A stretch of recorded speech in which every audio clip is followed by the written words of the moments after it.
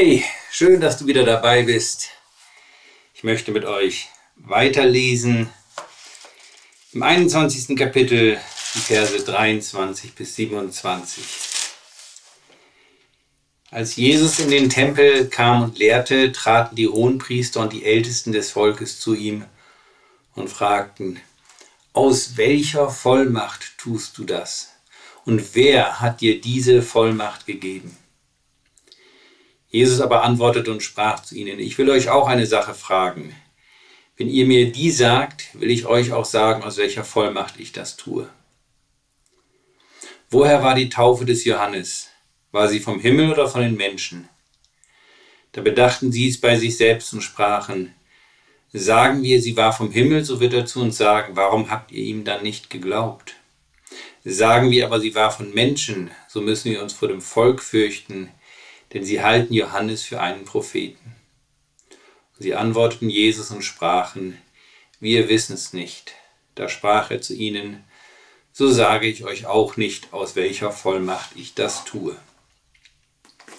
Der Zusammenhang der ganzen Geschichte liegt darin, dass die Pharisäer und die Hohenpriester Jesus im Endeffekt mit dieser Frage kriegen wollen.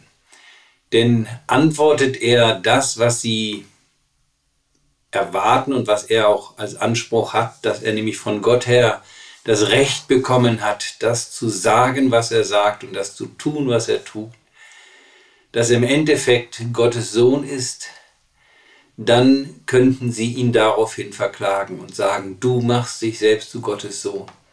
Das war ja die Anklage, die am Ende auch ihn ans Kreuz gebracht hat. Und so hatte Jesus kaum eine Möglichkeit, vernünftig zu antworten. Denn wenn er sagt, ich mache es, weil ich es für richtig halte, dann hätten sie ihn auf der anderen Seite der Überheblichkeit überführt. Was sollte Jesus machen? Und er stellt eine Gegenfrage und zeigt damit, dass er denen, die ihm eine Falle stellen wollen, weit überlegen ist. Und das ist das Erste, was wir hier sehen können. All das, was weiterhin passiert, passiert nicht, weil Jesus keine Antworten mehr hat, weil er nicht mehr weiß, was er sagen soll, weil er nicht mehr weiß, was er tun soll, sondern Jesus geht nicht nur nach Jerusalem, sondern er bleibt in Jerusalem und geht ganz bewusst ans Kreuz. Das zeigt hier auch wieder diese Situation. Er ist der Herr über die Situation. Er weiß ganz genau, was passiert. Und er antwortet auf eine Art und Weise, die im Endeffekt den Pharisäern den Mund schließt. Aber hier steckt eine tiefere Frage drin. Welche Vollmacht, aus welcher Vollmacht tust du das und wer hat dir diese Vollmacht gegeben? Das ist auch die Frage, mit welchem Recht tust du das? Mit welchem Recht, Jesus, stellst du einen Anspruch auf mein Leben? Mit welchem Recht fragst du mich und forderst Rechtfertigung von mir für mein Leben? Das ist ja am tiefsten die Frage, die dahinter steht. Und auch dann an dem Punkt die Frage, die für uns interessant wird. Jesus, mit welchem Recht greifst du in mein Leben ein? Mit welchem Recht fragst du danach, wie ich lebe und was ich tue? Und die Antwort ist ganz einfach, mit dem Recht des Schöpfers und mit dem Recht des Retters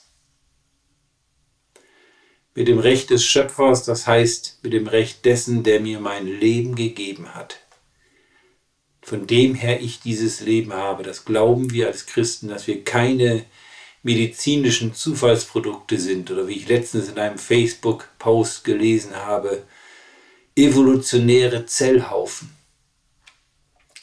sondern dass wir wirklich bewusste Geschöpfe Gottes sind gemacht von einem Gott, der uns haben wollte.